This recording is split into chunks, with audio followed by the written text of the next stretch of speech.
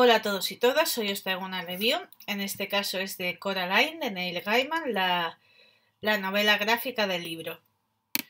Bueno, deciros como en otros vídeos que si me veis la nariz es porque la he tenido rota, así que me disculpáis, pero está volviendo a ponerse en su sitio.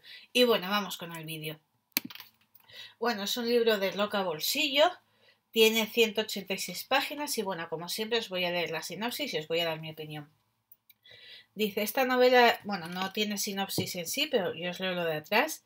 Dice, esta novela es maravillosa y da miedo. Lo dice Philip Pullman, el autor de La Bruja Dorada. Y luego Terry Pratchett dice, este libro hará que los escalofríos te recorran la espalda, te salgan por los zapatos y cojan un taxi camino al aeropuerto. Contiene el terror delicado de los cuentos de hadas y es una obra maestra.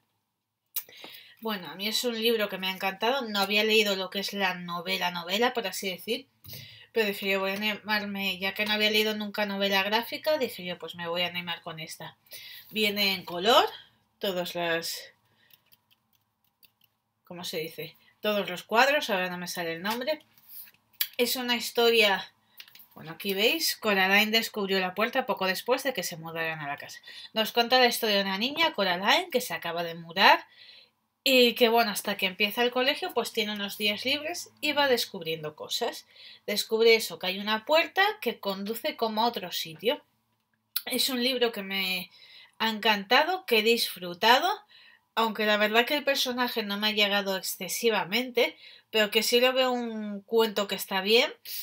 Eso sí, para niños no lo recomendaría porque no lo entenderían del todo, pero sí que os recomiendo a partir de 14-15 años que van a saber descubrir ese punto de miedo que tiene el libro, ya que no es que sea terror en sí, pero sí que hay cosas que dan un poco de más rollo y por eso lo recomiendo totalmente.